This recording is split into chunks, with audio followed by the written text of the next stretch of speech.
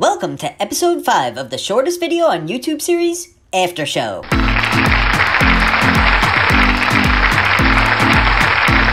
I'm your host, Mylo the Cat, and as always, I'm joined by my co host, Barry the Dog. You!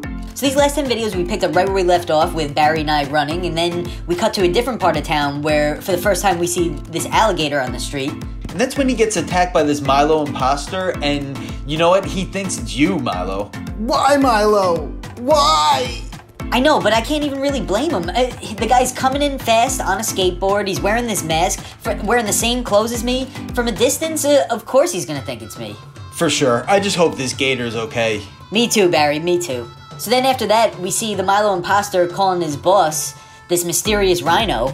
Yep, Get and more. as you can see, he tells him get more. So I'm assuming there's going to be more attacks on more people. Yep, as you know, no spoilers, but it does seem like it.